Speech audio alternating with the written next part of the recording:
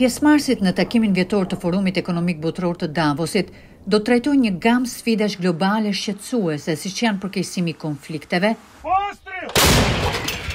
i ndryshimeve klimatike, çështje që lidhen me një ekonomi të dobët globale, frika mbi inteligjencën artificiale apo sulmet ndaj anijeve tregtare në Detin e Kuq. Në raportin e botuar të mërkurën, organizatorët e takimit të nivelit të lartë thanë se dezinformimi është rreziku më i madh afatshkurtër.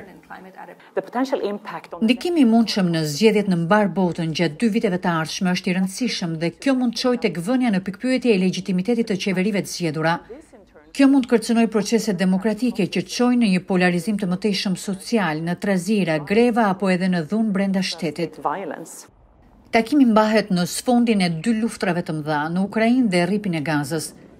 Në mesin e atyre që do të shkojnë në Davos janë presidenti i Izraelit Isaac Herzog, ai i Ukrainës Volodymyr Zelensky, kryeministri kinez Li Qiang dhe sekretari amerikan i Shtetit Antony Blinken.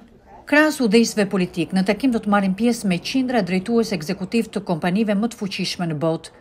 Kritikët thonë se pasuria e tyre është rritur, ndërsa me miliarda vetë po varfërohen më tej. Në të gjithë botën, njerëzit po ndjejnë vështirësi të jashtëzakonshme, ndërsa në të njëjtën kohë ka disa që ngjiten gjithnjë e më lart. Disa prej tyre do të jenë në Davos. Sigurisht që forumi është një hapësirë për dialog, për diskutime të rëndësishme.